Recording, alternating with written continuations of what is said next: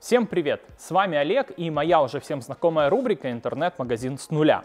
Сегодня мы с вами подведем небольшие итоги по тем шести роликам, которые мы уже опубликовали и с вами прошли. Мы затронули там такие темы, как добавление товара вручную, импорт товарных позиций, создание групп, работа с приложениями и много еще другом. На самом деле у нас еще и впереди очень много интересных тем, которые мы вместе с вами разберем. Ну а сегодня мы подведем эти итоги и заденем несколько тем, которые также меня интересуют и интересует ваше мнение. Так что давайте будем уже начинать.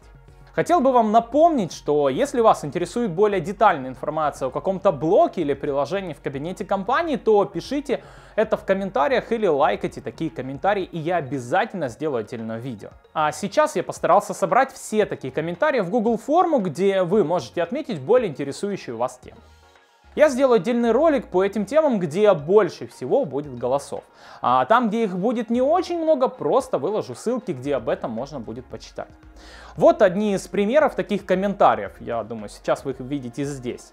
Ссылку на опрос я оставлю в комментариях, как уже и говорил. А теперь перейдем к подведению итогов и коротко пробежимся по тому, что мы сделали.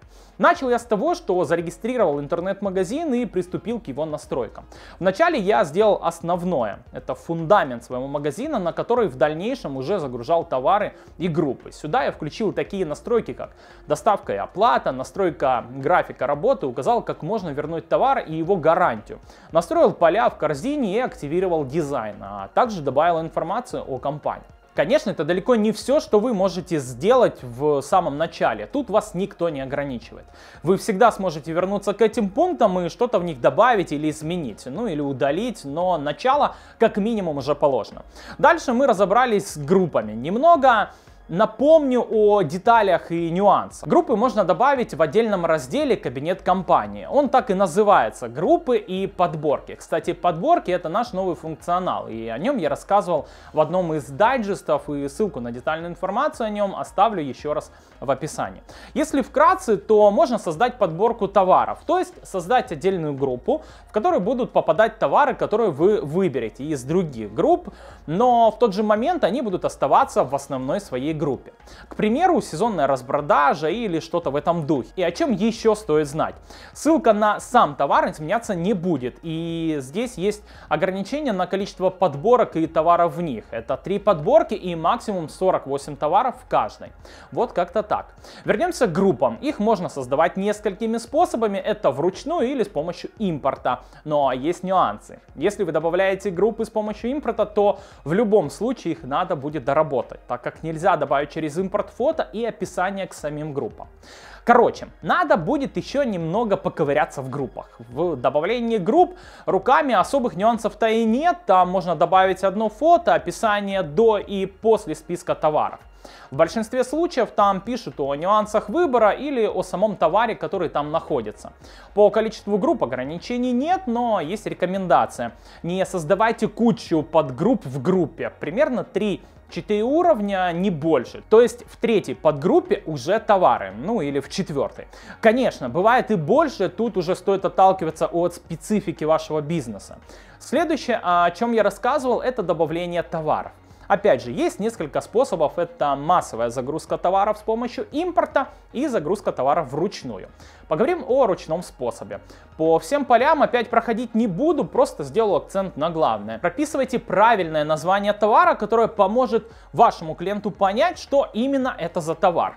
Прописывайте ключевые слова, которые помогут увеличить охват аудитории и, конечно, они должны относиться к товару, в котором они добавлены. Один из плохих примеров, который я реально встречал в товарах, это когда товар-телефон, а одно из ключевых слов это «продам гараж в Одессе».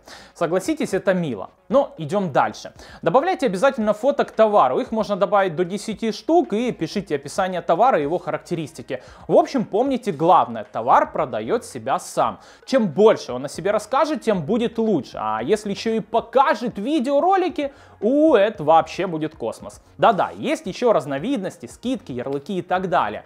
Об этом тоже стоит помнить и пользоваться. А сейчас я пообещал, что буду коротко обо всем напоминать, а то у меня, как всегда, хочется все-все рассказать и все показать вам, но надо себя иногда сдерживать. Теперь об импорте.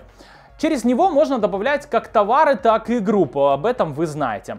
Также у нас возможна синхронизация по ссылке GML и с 1С. Кстати, будет ли вам интересно, чтобы я рассказал о том, как можно перенести товары с одного сайта на пром на другой сайт на проме с помощью Excel? Если да, то напишите об этом в комментариях.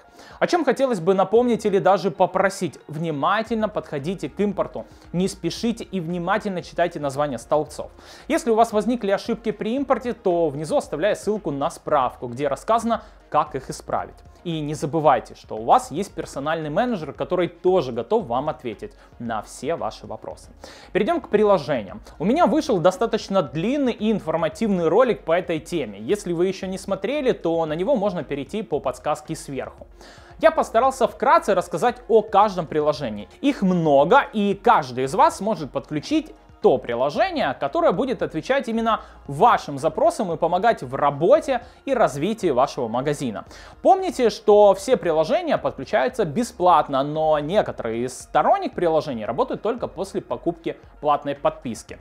В каждом таком приложении есть переход на их тарифы, где можно с ними ознакомиться. Ну а наши приложения все работают и подключаются абсолютно бесплатно. Это все темы, о которых мы с вами успели поговорить. Мы настроили магазин, настроили корзину, оплату и доставку, добавили группы и товары и включили все необходимые приложения. Начало положено. Да, я с вами полностью согласен. Есть еще и возможности, такие как возможность добавить статьи, новости, информационные страницы, фотогалерею, портфолио и так далее. Вообще совершенству нет предела. Я к этим темам буду еще возвращаться, но, наверное, чуть позже. В следующих роликах мы поговорим о странице заказа и сообщений, поговорим о наших платных доп. услугах, которые вы можете дополнительно заказать для развития своего магазина. И знаете, у меня есть вопрос. А стоит ли рассказывать еще о просейл? У нас много видео на канале, и стоит ли мне повторяться? Если вы хотите, чтобы я рассказал в разрезе нашего с вами проекта, то поставьте, пожалуйста, плюсик в комментариях, и я пойму, стоит ли мне подготавливать для вас информацию по этой теме. Мне будет приятно узнать ваше мнение. Ну а на этом у меня все. Не забудьте перейти в форму и проголосовать за более интересующую вас тему. Ссылка на эту форму находится в описании под видео. Ну а на сегодня это уж точно все. Всем пока-пока и до скорой встречи.